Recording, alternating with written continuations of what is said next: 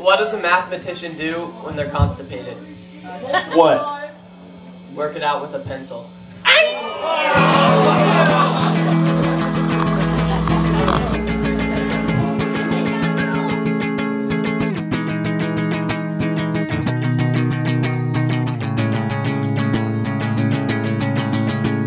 As you're coming out, I'm coming